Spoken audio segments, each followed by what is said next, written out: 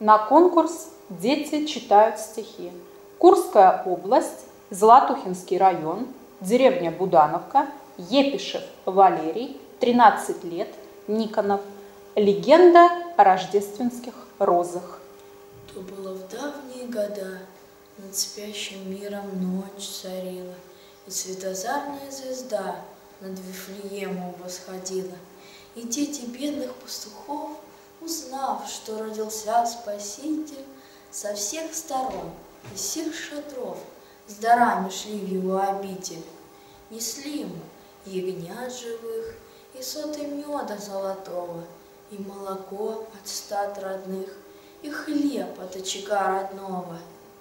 И только девочка одна, святой вертеп войти не смея, стояла подаль и грустна, а дети шли, смеясь над ней. О, Боже, плакала она, зачем меня ты создал нищий? Я одинока, я бедна, с чем я войду в его жилище?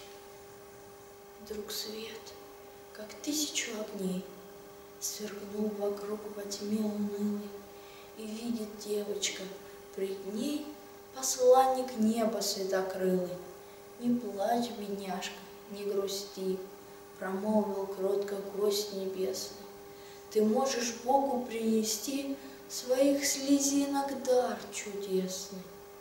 Взгляни, малютка, на земле Куда упали твои слезы, Цветут прекраснейшие розы.